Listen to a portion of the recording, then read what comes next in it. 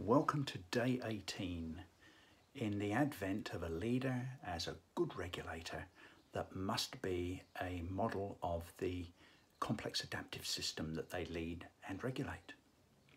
We're now diving into the very last face of our model and it is the last of the piecewise views and here we dive into the issue of thoroughness because as we uncovered this model yesterday and looked at the hierarchy between the strategy, the uh, capability and execution layers uh, of an organization, the devil is in the detail because each of these mutually constrains the other in the work that gets done.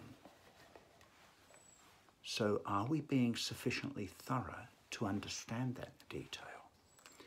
So let's dive in and say if we're understanding the relationships between the major elements of structure, do we understand the systemics?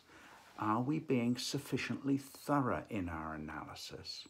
Or are we diving to point solutions that ultimately lead us to what could be compiled as thoughtless actions?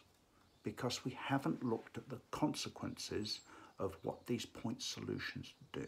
It's like the sugar candy, the great hit for today, but in the long term, the lack of thoroughness really bites. So thoroughness for systemic outcomes is absolutely crucial. We wouldn't go to the doctor and expect anything less. So we shouldn't be modeling anything less as leaders, as regulators.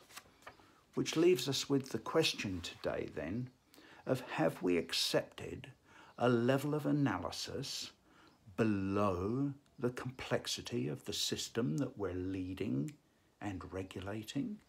Hmm? Have we been sufficiently thorough? Now, that's hard.